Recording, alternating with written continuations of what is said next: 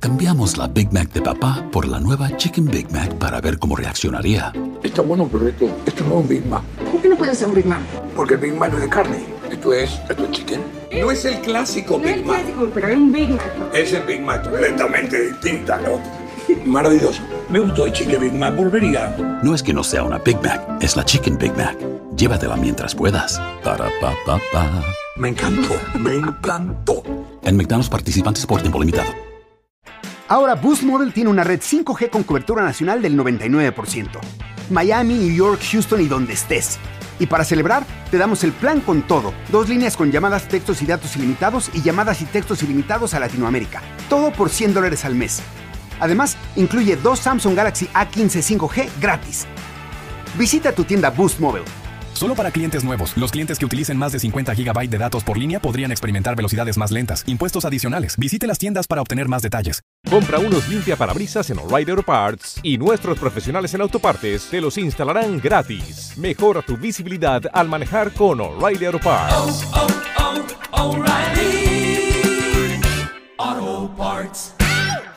Empieza tu Navidad con el arbolito perfecto para tu hogar en The Home Depot.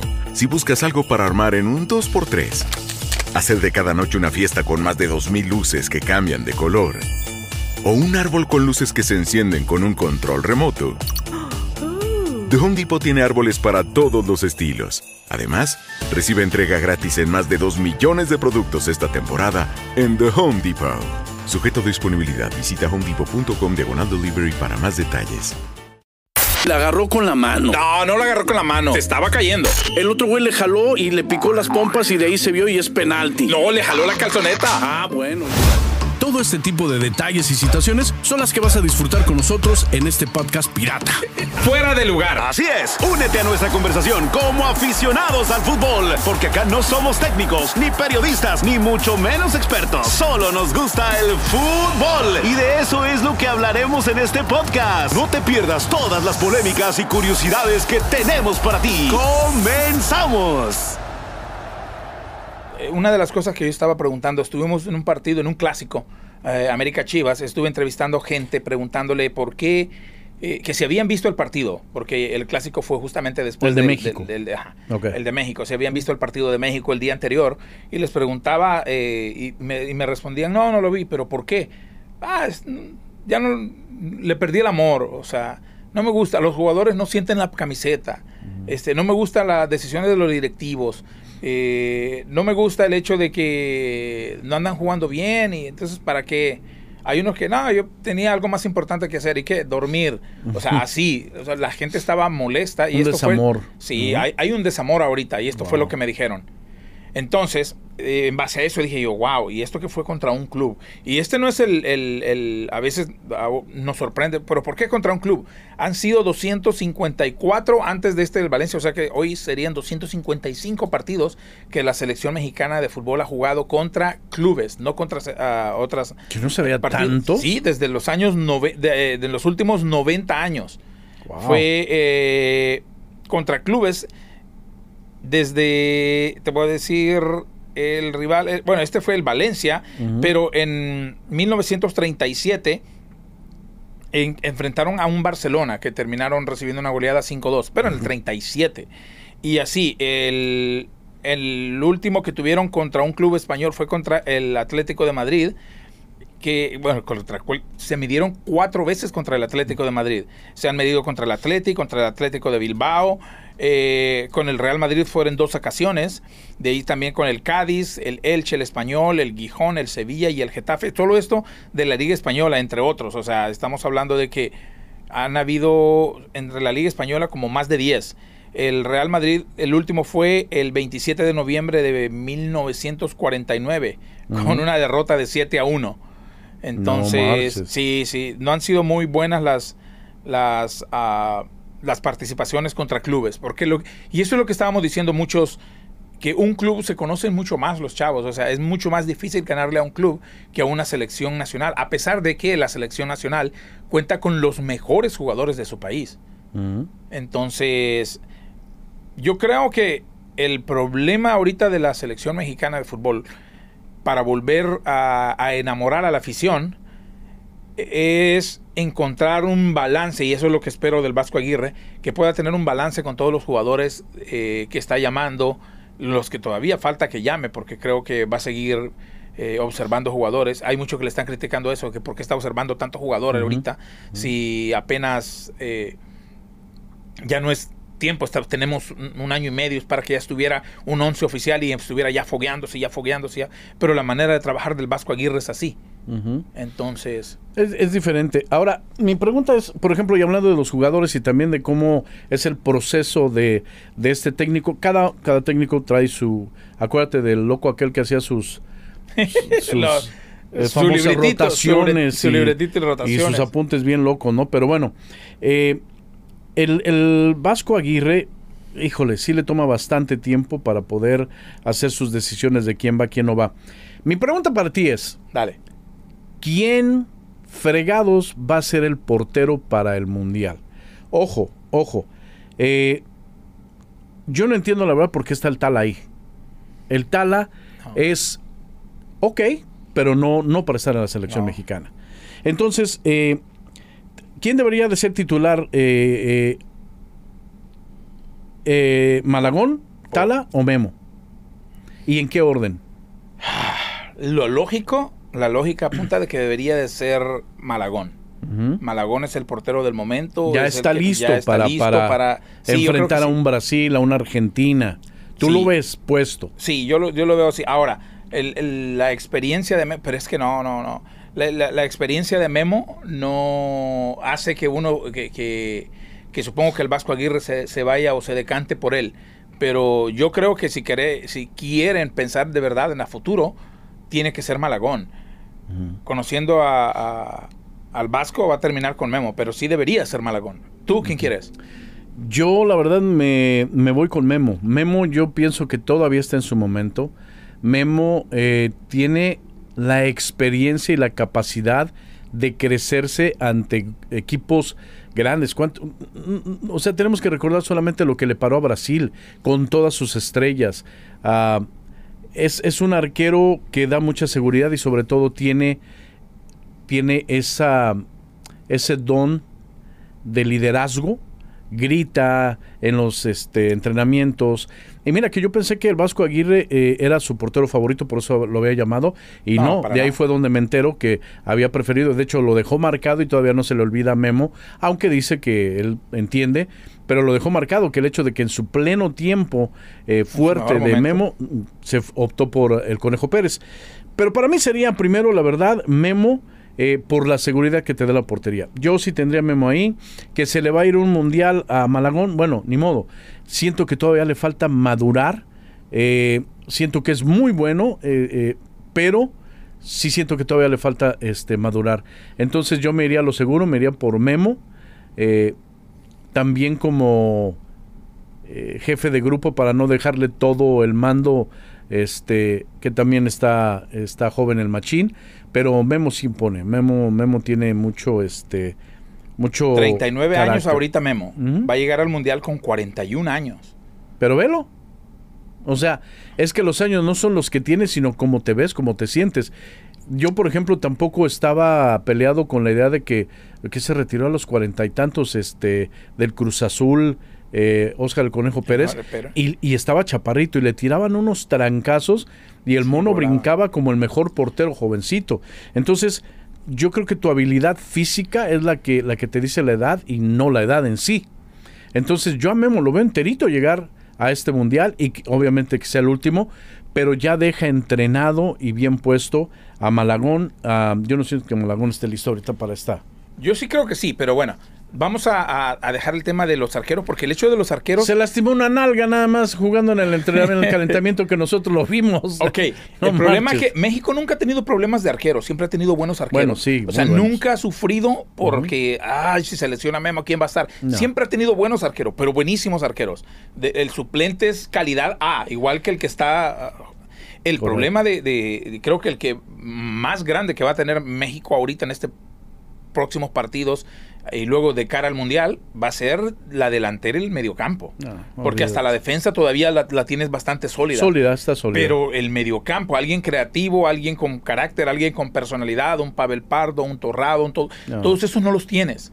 Entonces, eh, delanteros mucho menos, o sea, no, no, no, no tienes a alguien que te defina al frente. Y eso creo que es lo que más ahorita está extrañando eh, México. ¿Sabes cuál es el gran problema de México? Yo no sabía, pero eh, México tiene 8 a 10 jugadores más o menos en el extranjero. Para que vean de dónde parte eh, la gran problemática del fútbol mexicano, ¿no? Los cimientos están así. México tiene unos 8 a 10 jugadores en el extranjero y Estados Unidos más de 50 en Europa. No. Ese es un dato impresionante. Fíjese bien, entre 10 jugadores tenemos México en el extranjero y Estados Unidos tiene a más de 50 jugadores en Europa. Entonces tienes de dónde echar para agarrar a 11 peludos que van a estar en la cancha. Imagínate. Qué dato más perturbador. Es increíble y ahí es en donde se te enchina la piel y dices, ok, por eso, la estructura está totalmente errónea, totalmente errónea. Ah, no están saliendo eh, de los centros de capacitación, ah, de las fuerzas inferiores, por lo tanto no se los están llevando, no se está exportando y, y- por eso estamos en donde Fíjate, estamos. la- eh, en un programa estábamos hablando y tú trajiste ese dato de, de cuánto ganan los jugadores eh, extranjeros en México y cuánto ganan los jugadores mexicanos. Exacto. Los jugadores mexicanos ganan menos que los jugadores extranjeros en la Liga M- de MX, ¿correcto? Ok. Si los, y esto que aún así ganando menos que los extranjeros en su propio país, ganan tan bien que prefieren quedarse en la liga que irse a Europa a ganar un poco menos, Claro. pero estar en Europa, eso nunca va a dejar que ningún jugador mexicano se esté esforzando. Porque a pesar de que sí, muchos tienen el sueño de ir a Europa, eh, ya estando allá se regresan rápido porque se dan cuenta de que no vale la pena y allá ganan mejor y están en su país y todo el rollo. O sea, no tienen tanto una motivación extra como para decir, no, es que allá aparte que voy a ganar mejor, como la mayoría de los jugadores estadounidenses, porque en la MLS hay un tope salarial. Claro. Entonces, solo los jugadores franquicias son los únicos que ganan un sueldo exorbitante. Y esto debido a patrocinadores y todo, pero la liga, la liga en sí, les No, tiene un tope claro. salarial. A mí por eso eh, yo creo que le doy más crédito y, y se ganan más mi respeto a gente como Pavel Pardo, este, a gente como Layun, gente como mismo Memo Ochoa, que inclusive han, han este, dejado que su bolsa Sufra. sufra con tal y de no, yo quiero hacerme, yo quiero probarme, yo quiero eh, participar a ese nivel en Europa, este, en otros equipos, ¿no? Eh, pero no, es que es muy difícil cuando puedes ganar. Eh, de hecho, esto me lleva a otra cosa, pero ay, leí algo el fin de semana que me, me revolvió el estómago. No me acuerdo, un jugador francés que creo es compa de Guiñac y que lo llamaron para Tigres y no duró. Ah, o no sé si era español, pero creo que es francés. Y este hace unas declaraciones. Se fue de Tigres y dijo, el peor error de mi vida es haberme ido al fútbol mexicano. Y lo están entrevistando y dice, sí, porque el nivel del jugador mexicano allá este, es, no dijo bajo, pero sí es, es sumamente difícil porque tienen muchos excesos por el mismo pago. O sea, tienen viejas, tienen alcohol y la carnita asada. Y, y dijo, ese nivel no es el que yo quería. Eh, no me gusta, obviamente, porque viene de un extranjero y que le dieron de tragar ahí y todavía va y despotrica, y, y ¿no? despotrica, pero, pero exhibe un- una problemática del país. Pero, y, y la idiosincrasia del... de- es que la idiosincrasia de los jugadores, desde que... Desde que estás jugando en el barrio, la cascarita, si juegas, o sea, en el barrio se hacen equipos y hay torneos Acabas con locales. las y todo. chelas. Sí, no, y después de jugar es las chelas, o sea, Sí. eso eh, se da en todos los barrios. Entonces, o sea, si de ahí. Y ya cuando llegas profesional y tienes la feria para hacerlo sin ningún problema, que no estás sufriendo, lo vas a hacer. Lamentablemente, esa, esa disciplina en cuanto a, a jugadores de fútbol en México no creo que la vaya a ver nunca. No. El, el- el problema es que, que lleguen a tener tanto talento que su talento sobrepase ese tipo de indisciplinas, como Cuauhtémoc Blanco en su momento. O sea, Cuauhtémoc Blanco fue indisciplinado, Ah, Cuauhtémoc. Blanco era mujeriego, Cuauhtémoc. Blanco pisteaba, pero su talento era tan fuerte que opacaba Alexis sus Vega. excesos. Alexis Vega, que Mira fue Alexis lo que lo hundió las chivas. Viejas y chupe, vámonos. Este, está teniendo su segundo aire que me da mucho gusto, pero ya desperdició años mozos que no van a regresar. ¿no? Pero bueno, en fin. Aloha mamá, ¿dónde andas? Seguro de compras. Tengo mucho que contarte. Hawái es increíble. He estado de un lado a otro con mi unidad. Todos son súper talentosos. Ya reparamos otro helicóptero Blackhawk y oficialmente formamos nuestro equipo de fútbol. Para la próxima te cuento cómo voy con el surf y me cuentas qué te pareció el podcast que te compartí, ¿ok? Te quiero mucho. Be All You Can Be, visitando goarmy.com diagonal español. Para artistas apasionados y auténticos, escucha la lista de reproducción Euphoria High. En la casa, we out here con Euphoria. For my sound, very in the Dominican culture. Viviendo en Jersey, you have lots of sounds, la bachata, merengue, dembow. Me inspiró de mi cultura. Vitamin Water nació en New York porque los New Yorkers querían más flavor. Deseábamos Vitamin Water, un drink para el vibrante music scene de la ciudad. Ver a nuestro favorite DJ y actuar en Brooklyn a 3 in the morning. Vitamin Water, bebe Vitamin Water. Es de New York. Una lista de opciones de desayuno que haría feliz a mamá. McMuffin calientito y tostado. Listo. Huevos perfectamente redondos. Listo. Salchicha sabrosa. Listo. Un iced coffee para disfrutar durante todo el día.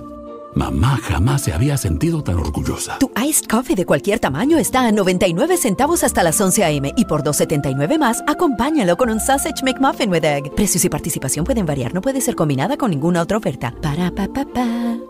¿Qué tan poderoso es Cox Internet? ¿Tan poderoso para ver deportes en vivo, realmente en vivo? Sí. ¿Tan poderoso para compartir mi pantalla con menos retrasos? Cuenta con eso. ¿Tan poderoso para jugar online sin poner en juego mi record? Claro que sí. Obtén velocidades gig con el poder de fibra de Cox, el proveedor de Internet más rápido del país.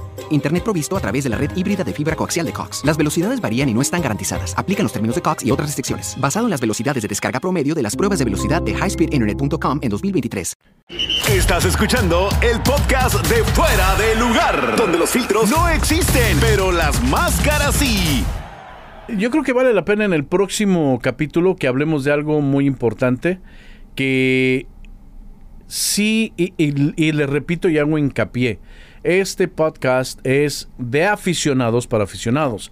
Nosotros no somos ningunos expertos, ni cronistas, ni nada de esas madres, no, no. Y mis respetos para ellos, ¿no? Pero, pero, este, es un circo, es un circo y levantan falsos y les encanta aventar mierda y les encanta decir babosadas que no son ciertas, que no son comprobadas, pero pues eso es lo que da el rating, es lo que gana. El ¿no? amarillismo, que a la gente Exacto. le encanta esa cosa. Y mira, pero bueno, eh, les vamos a dar un probete nada más con lo de Javier Aguirre, todo lo que se armó. Y me encantó porque salió Javier Aguirre a aclararlo. Sucede que llegan a Guadalajara y este, e inmediatamente todo mundo. Aguirre de emergencia, última hora, se lo llevan al hospital porque no se sintió bien. Y puta, todo el mundo, ¿qué, qué le pasó? No, valiendo que eso ya. Llega Aguirre, eh, se baja del auto en el hotel y dice, déjense de mamadas, por favor, déjense de estar inventando jaladas. Lo que pasa es que yo tengo un amigo íntimo, amigo mío, un doctor, el doctor Rafael Ortega, que tiene una clínica y que debe venir a verlo desde hace mucho tiempo, pero obviamente me fui a España, no lo he visto. Voy en camino llegando aquí y a ustedes les he dicho, yo tengo recientemente una operación de hace, no sé, de un mes o algo así, ah, en la espalda. Me operaron de la espalda, les he enseñado hasta la cicatriz. Y obviamente, como todos los que nos hacemos ese tipo de cirugía, no quedé bien. Entonces vengo para acá y me dice, ¿qué onda? ¿Cuándo vas a venir? Y pues como buen amigo le dije, ¿sabes qué, güey? Sí voy a ir, pero para que me revises también. Dijo, fui, me revisó, pero fue de compas, no fue de que me fui grave y que nada de eso, déjense de mamadas, así les dijo. Entonces, este, qué gacho, ¿no? Que la prensa sea así. Necesita ser, tener unos nervios de acero para ser jugador y entrenador en México, eh, la neta. La neta. Ahora, una de las cosas, tienes completamente eh, toda la razón, ahí sí no te puedo ni debatir, porque la, la mayoría de los periodistas en México, de la, de la, de la mayoría de cadenas, de todas las cadenas, siempre andan buscando la nota roja, siempre andan buscando a ver en qué cachan a alguien para... "Ey, Eso es lo que te da el explotar". rating, ¿no? Lo que te da rating y lo que da de comer, pues ni modo, lamentablemente eso es así, es parte de la idiosincrasia eh, de lo que nos gusta al final del día. Pero, ok, el, el- hay, hay una escasez de directores técnicos en México. O sea, después del Vasco Aguirre, el que va a seguir va a ser Rafa. ¿Por qué no impulsar una desde, desde el país una especie de academia para directores técnicos de los exjugadores, de los que han sido, ¿saben qué? Eh, eh, y, y- y motivarlos y decirles, oye, puedes, tú puedes ser, puedes dirigir y todo, y, y- y re- pero que la federación haga algo, porque no puedes estar dependiendo de puro director técnico extranjero. O sea, una de las cosas que a mí me gusta del Vasco Aguirre es que es mexicano. Sí. Es, y yo antes estaba muy en contra de eso, pero hasta que no pasó este último mundial del 2022 y ver al Tata Martino que tenías a- a- al enemigo dentro de la casa, dices, no, no hay como que el director técnico de un país sea de su, de su propio país. Y fíjate que a mí me llamó mucho la atención, que tú también lo viste, estábamos ahí, eh, tuvimos la fortuna de ver este un, un partido eh, de los eh, viejitos, de los veteranos, ¿no? Sí. Y eh, estaba asistiéndole al director técnico Bora Milutinovich, estaba Pavel Pardo. ¿Por qué Pavel Pardo no dirige? Yo lo vi, cómo estaba dando las indicaciones, a, a quién metía, a quién sacaba, eh, hacía sus anotaciones, se reía mucho con, con- con los jugadores, pero lo vi y tiene, tiene tipo de, de- de que puede dirigir, conoce del fútbol, estuvo también en el extranjero, Fue un un, líder. excelente, el bebé Pardo. No sé, bueno, no sé si eso sea decisión de él también, no lo puedes obligar, pero sería un excelente director técnico. ¿Sabes qué? Sería bueno preguntarle un día de estos a, Hay que a preguntarle. Pardo, Hay que preguntarle. Cuando lo topemos, hay Sí. que preguntarle porque vale la pena. ¿Por qué no dirigir? O sea, y, y- así como Pavel Pardo, muchos más. Sí. ¿Por qué no? Y desde jóvenes. Y hoy en día se puede dar de que desde jóvenes Mira, empieza la ¿sabes Jun. La Jun, el, el problema es que también yo creo que pues el, el- el billete que les deja el ser comentarista y no estar ahí en el sol y la, ¿no? Pero yo, por ejemplo, a la Jun lo veo como joven, porque está joven todavía. mucho. y e imagínate lo que se vaya a tomar los cursos a Europa y que regrese. O sea, ¿por qué esperarte a estar todo pinche histérico como el viejito este gritón a este el Tuca Ferretti, ya todo histérico y, y- no, güey, o sea, de joven. Sí. Necesitamos jóvenes y eso mis respetos para Argentina o los argentinos que por ejemplo el que estuvo dirigiendo a Chivas que los hizo campeones. Almeida Oh, Almeida. O Matías sea, Almeida. no es un viejito. No. ¿no? Y, se- y- y es buen buen director. El que acaba de darles el espaldarazo y se largó Fernando Gago. a, a Gago, también joven. Sí. Entonces hay varios de ese tipo, ¿no? El, el tipo de entrenador, director técnico joven que probablemente tengan una mejor connotación, comunicación y entendimiento con el jugador, por lo mismo joven y lo jugaron, a que, a que ya un A viejito ya todo pinche histérico, ¿no? De hecho, sí, yo creo que la nueva ola o la nueva moda de... de- Debería ser. Debería ser jóvenes. O sea, en realidad, en, en España ahorita... Dime un director técnico joven de México. Uno. eh, de los más jóvenes que hay, mexicano, Mexicano. creo que... No, El que salí estaba- con Aguirre, porque no. No, no, no, no, el que estaba justo antes de Aguirre, este, el que estaba dirigiendo a selecciones menores. Las ¿no? menores, sí, sí, sí. Eh, ¿Cómo se llama? El Ferrari, ¿no? El, Sí, el, el, el Lamborghini, Eh, Jimmy Lamborghini. Lozano. Ajá, Jimmy. Creo que es de los más jóvenes que, que- que ahorita se me viene a la mente de directores técnicos de México. Eh, hay, a, a mí me llamaban la atención dos españoles, los dos Chavis, el Xavi del Barcelona y el Xavi del Real Madrid. Los dos directores que, que se lo técnicos. quieren traer a Chivas, ¿no? No. Dijeron, güey, ellos dijeron los Chivas, Chivermanos. De hecho, hay muchos que están pidiendo que el director técnico de Chivas sea mexicano como los jugadores. ¿Ah, sí? Sí, hay muchos, hay muchos aficionados que se pusieron a, a opinar y a decir, pero ¿por qué no se traen un director técnico mexicano así como los jugadores? Si los jugadores tienen que ser mexicanos, que el director técnico también lo sea. Bueno, pues van a estar igual de jodidos. Y fíjate que estás en lo correcto. Jaime Lozano es el director técnico mexicano más joven. Este eh, nació el 29 de septiembre del 78. Ah, está chavillo. Y es, está chavo, es chavo, ¿no? Eh, es uno de los, de los más jóvenes, la verdad. En, en la Liga MX, eh, Nicolás Larcamón y Paulo Pesolano, pero pues no son mexicanos, ¿no? Este, pero de los mexicanos, la verdad sí, no, no hay ah, jóvenes. Imagínate, este, Jimmy Lozano y, com- y ese es el, el perfil del que yo hablo. un Jimmy Lozano, un chavo joven, un que, chavo... que- que sabe tratar con los chavos. De hecho, Exacto. es una de las ventajas que tenía el Jimmy. Saber tratar con los chavos y todo. Tal vez yo creo que a Jimmy lo, lo lanzaron a un proyecto sin. sin o, o- lanzaron a, a trabajar con algo donde no tenía fundamentos. Claro. O sea, este es este proyecto, pero no hay materia prima. ¿Cómo vas a hacer un proyecto sin materia prima? Y eso es lo que le pasó al Jimmy. Yo creo que el Jimmy es un buen entrenador, solo que necesitaba tal vez haberse... Y, y le ofrecieron, pero él no quiso. Quédate como auxiliar del Vasco. Y él no quiso. Yo creo que mejor se hubiera quedado el Jimmy como auxiliar del Vasco. y- o desde un principio, tal vez no aquí, sino que desde un principio él hubiera sido auxiliar de alguien más para estar listo para el 2030. Claro. En lugar de haberle cortado la carrera de director técnico a Rafa Márquez en el Barcelona. Y hablando de eso, ¿has escuchado el rumor, el run run, de que dicen que están tratando de convencer, el Vasco de Aguirre sobre todo, está tratando de convencer al Principito de que si en realidad se va a retirar, jalarlo para su, su este Su- entorno técnico de, de- de- del Vasco de Aguirre. y todo para los Sí. jugadores, excelente. Eh, eh, sería excelente, imagínate, Rafa Márquez, este, el Principito, Andrés Guardado, bajo la dirección y tutela y la experiencia y dirigiéndolos el Vasco Aguirre, ahí me huele a que ya hay algo. Sí, y me gusta porque también impulsaría que el principito, que Andrés Guardado se vaya enca- encarrilando en una, en una idea de, ok, pues podría dirigir, Carrera podría ser, técnica, o sea, ¿sí? sí, no, sería genial, sería genial. Sigues estando sin jugadores y materia prima, pero ya tienen los entrenadores. Hasta aquí llegamos en el podcast, señoras y señores. Eh, hay mucho más de qué hablar. Les prometemos que en el próximo eh, también les va a gustar. Thank you, Gracias. Hasta aquí un episodio más de Fuera de Lugar, el podcast donde la pasión por el fútbol nos hace felices. Gracias por escucharnos y aguantarnos. Sigue escuchando más episodios a continuación y diviértete con las polémicas futboleras. Nos escuchamos pronto. Suscríbete al podcast de Fuera de Lugar y no te pierdas ningún episodio. Escúchanos en Euforia App o en cualquier plataforma.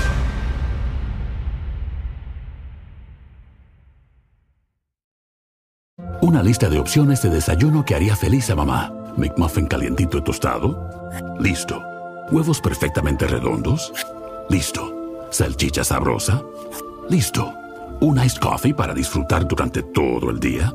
Mamá jamás se había sentido tan orgullosa. Tu iced coffee de cualquier tamaño está a 99 centavos hasta las 11 a.m. y por 2.79 más, acompáñalo con un Sausage McMuffin with Egg. Precios y participación pueden variar, no puede ser combinada con ninguna otra oferta. Para pa pa pa. Aloha mamá, ¿dónde andas? Seguro de compras. Tengo mucho que contarte. Hawái es increíble.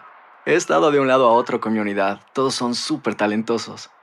Ya reparamos otro helicóptero Blackhawk y oficialmente formamos nuestro equipo de fútbol. Para la próxima te cuento cómo voy con el surf y me cuentas qué te pareció el podcast que te compartí, ¿ok? Te quiero mucho. Be All You Can Be, visitando goarmy.com diagonal español. Ahora puedes obtener Cox Internet y una línea Cox Mobile ilimitada. Todo con equipo de Wi-Fi incluido y sin contrato anual. Ojalá tenerlo todo fuera así de fácil. Como salir por la noche y tener tus ocho horas de sueño. Obtén todo con Cox. Internet y una línea móvil ilimitada con equipo de Wi-Fi incluido y sin contrato anual. Visita cox.com diagonal más valor. Oferta por tiempo limitado solo para nuevos clientes. Sin contrato anual significa que no hay acuerdos de duración mínima ni cargos por cancelación anticipada. Aplican restricciones adicionales. Stop by O'Reilly Auto Parts for the power, performance, and reliability of a new Superstart battery. Visit O'ReillyAuto.com. oh,